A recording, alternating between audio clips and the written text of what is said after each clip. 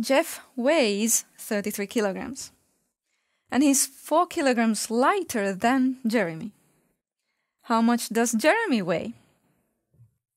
Okay, my first question to you is Who is heavier, Jeff or Jeremy? Jeff is lighter, right? So Jeremy is heavier. So Jeremy weighs more than 33 kilograms. We know that, right? And um, our task here actually is to choose which one of these number sentences, these additions and subtractions, would match this problem. And notice there's these question marks. And that's my unknown. That's what I don't know. That's what the problem is asking. The problem asks, how much does Jeremy weigh? Question mark, okay?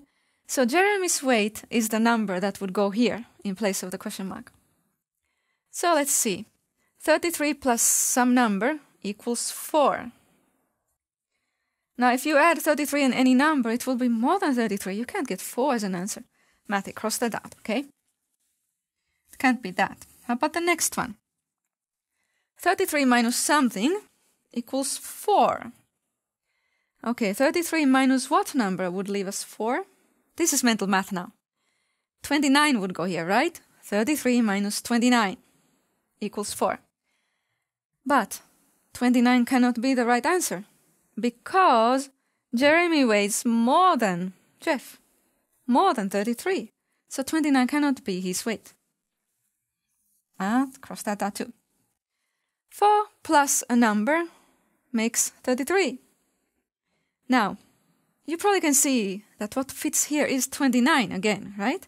But we know 29 is not the answer. So let's cross that one out too. Oh well.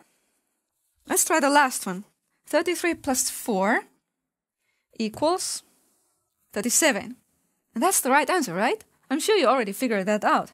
37 is the right answer. So this works. Now how about this one? Some number minus 4 equals 33. 37 works here too, doesn't it? 37 minus 4 equals 33. Yep, this one works too. Alright, we got that one done.